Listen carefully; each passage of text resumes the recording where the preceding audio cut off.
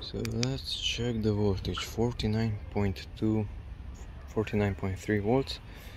One line is missing and I'm going to go downhill. There and then down. And the voltage should rise because of the regenerative brakes. I can't feel it. I have only the phone. No chest camera. 49.6 I still have to go down.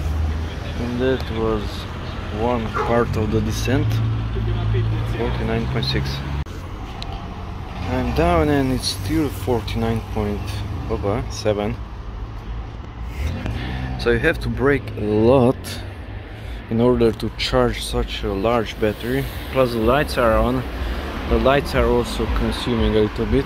And the brakes are set to the maximum power so they brake quite well. They slow down the scooter too much and they can't charge the battery significantly. The battery is pretty large. In order to charge it just by braking 49.6 volts